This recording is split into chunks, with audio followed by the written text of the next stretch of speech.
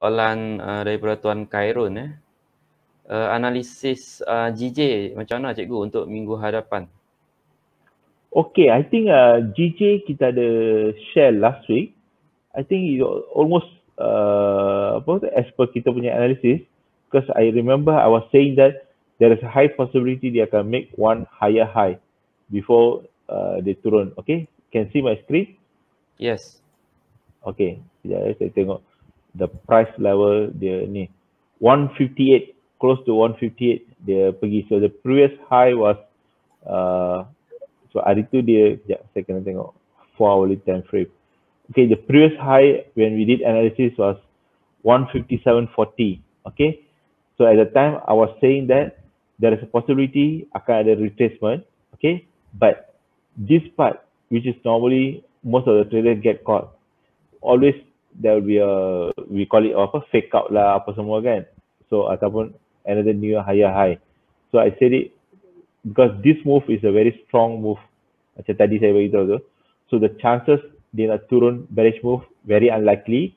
So dia akan buat satu orang kata uh, breakout then only probably. So it actually indeed breakout and then it made a new high ataupun new higher high dekat 158 uh, 40 okay around 158.30 then only it came down almost close to about 200 pips dia turun.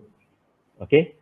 So siapa yang sell dekat sini of course ramai saya tahu dia start layer sell kat sini including myself. Okay. Uh, so siapa yang masih boleh tahan uh, margin then they they actually made money. Of course kat sini dia mainkan perasaan sebab kejap turun kejap naik kejap turun kejap naik. But now we are seeing a clear breakout. Okay? Dia macam dah break out this uh, neckline. If you guys consider this as a left shoulder right shoulder and a head okay? So basically HNS punya pattern breakout. So the the typical movement for this kind of uh, pattern okay will be going up and then test this uh, broken support and then come down. So this will be a typical textbook uh, textbook uh, move that we always expect. Okay? But again market some of the time don't respect the textbook theory. Okay? It might go up come down and then make up then only come down. So this uh, bearish flag might happen as well. Okay? So if you ask me i'm, I'm more of this this move for gj right now.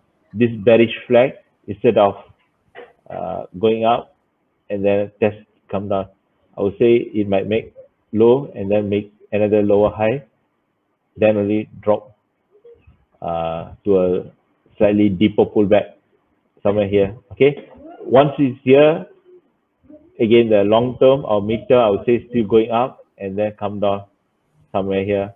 Okay, so this kind of a move I'm looking for GJ. It's about, but bear in mind there is a one news. Let me check a billion news too is I think maybe next week because BOE is going to meet sometime very soon. Okay, yeah, GBP on the 4th November. Okay, okay, until 4th November, we don't expect too much weakness GBP. Okay, there will be a some volatility. So, sampai 4th November ni, we have to expect maybe GBP make some kind of a still bullish move ataupun corrective move post fourth November, then only we might see uh, breaking down.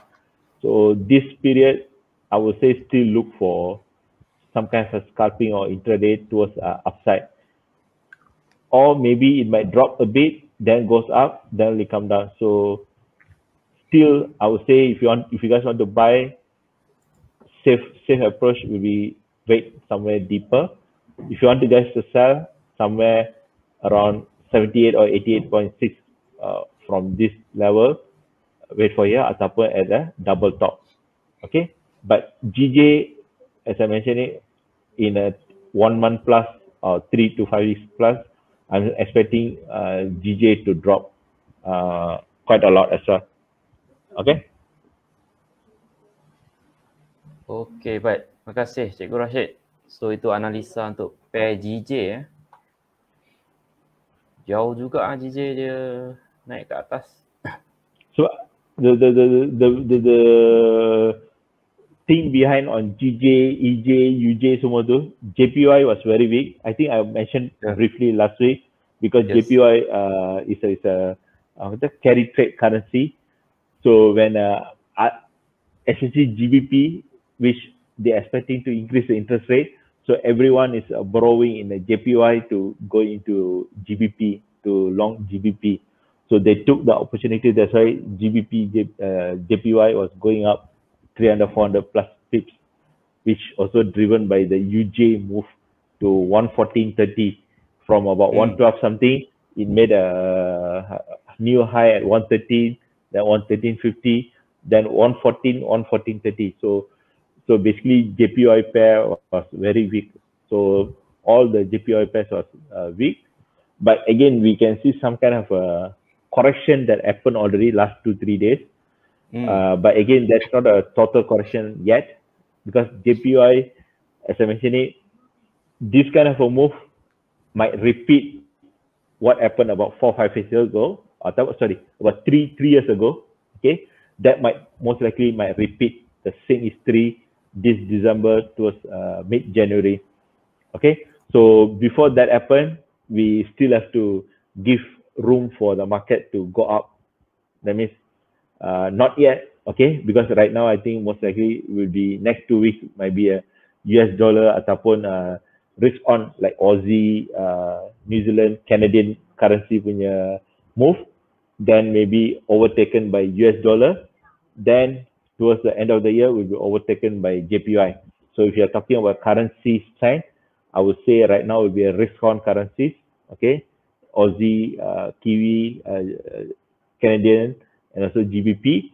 Then maybe US dollar will come into play uh, in uh, maybe mid November after FMC until about let's say early December kind of a period. Then probably overtaken by JPY uh, towards uh, at the later part.